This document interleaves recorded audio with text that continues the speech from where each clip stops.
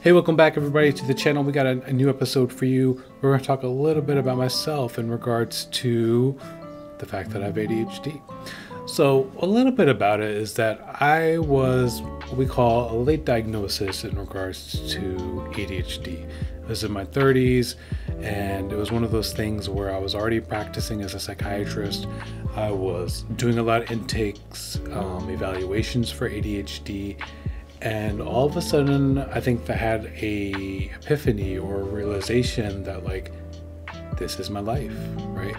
So a little bit of history about me, if you don't know already, that I was actually supposed to be a dentist. I initially went to dental school and actually failed out because a lot of the things that showed up, a lot of the issues that happened were untreated ADHD.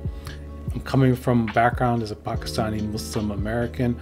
Parents, especially my dad, was very much like, hey, you're lazy, you're stupid. A lot of things that we kind of hear with people who have ADHD because I was having some troubles, you know, after my natural smarts kind of ran out. So I was actually able to get into dental school, but I failed because I couldn't schedule like study time. I couldn't organize my studying time. I thought I could just pull an all nighter um, for tests and stuff, that didn't work. Right. So obviously, just the volume, just the amount of work, the amount of material was there was too much for me to deal with, for me to kind of do all night. So I failed out. When I was, you know, getting through school, getting through med school, then afterwards, you know, there's a lot of just kind of work. I was just focusing, I was reading, studying all the time, spending all my time in the library. I kind of felt like I was doing so much time. And that's what it was. It was essentially, you know, I learned a certain way, this is the way that I worked, and that's how I made it to made it through uh, medical school and became a psychiatrist. My scores weren't the greatest, but I was able to kind of communicate and have interaction with people. Fast forward a little bit, doing those evaluations, and then boom, that click happened. So I was able to get started, you know, do the evaluation. I was able to get started on Adderall, um, and it was extremely helpful. It was one of those things where I say now, I joke and say that if I had this in my life when I was earlier, when I was younger, I would be a dentist right now instead of a psychiatrist, right? So I'm a Muslim, right? I'm a, I fast during Ramadan. And one of the issues that happens when we talk about Adderall is that, hey, you take it within 30 minutes to an hour, it's working, and then the last, you know, four to six ish, maybe eight ish hours, and then it wears off. For me, it would last about six ish hours, and then it wears off. So for Muslims, when you're fasting, you don't take medication that you don't need, right? So it was one of those Adderall is one of those things that I always kind of say, I don't necessarily need it right now. I won't die. Um, I will survive if I don't take it.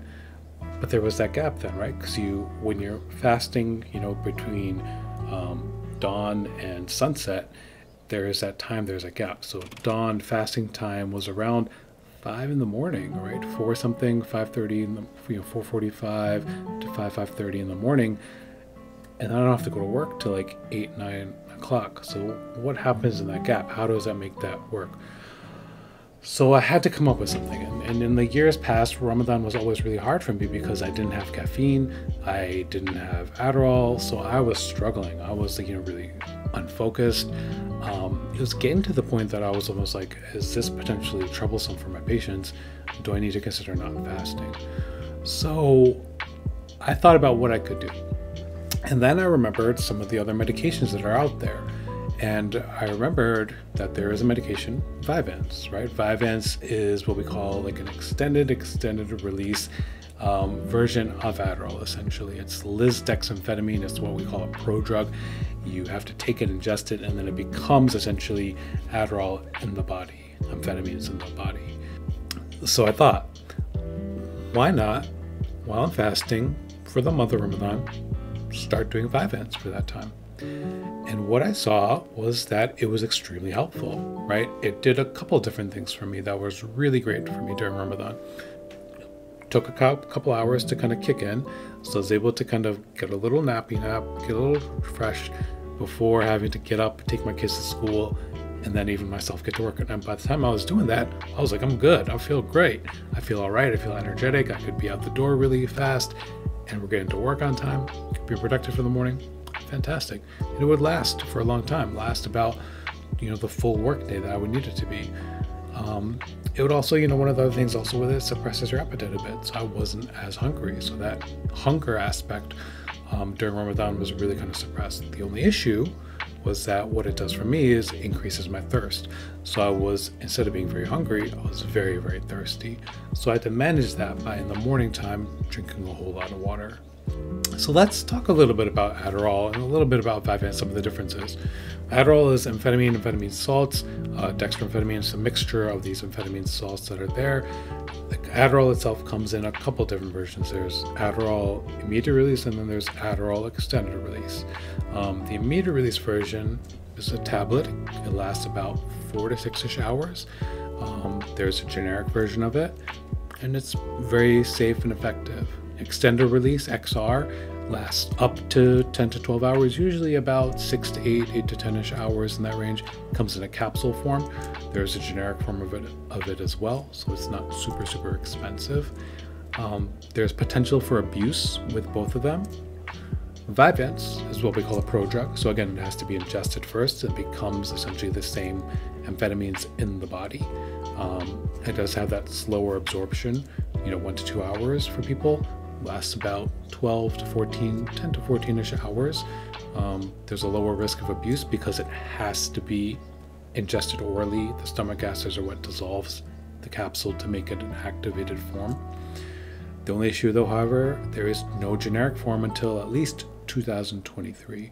Um, so it can be extremely expensive. It can cost three to four hundred dollars a month, depending on insurance and coverage and everything like that. And the other thing, there's also now something called Mydayis. Mydayis is a newer medication and what I call as an extended, extended, extended release. So there's actually three beads that are released, an immediate release, extended release, and then a double extended release. This is advertised to last up to 14, 16 hours. So it's really good for people who have longer work days, right? Adults who have longer work days, kids teens who have longer school days, maybe with sports or after school activities, things like that, that they need to have that extended longer period of time that's there. So that's a little bit of a rundown between Adderall, Adderall IR, XR, Vyvanse, how it applies, and sometimes how you have to use it um, depending on your situation and, and what works best for you.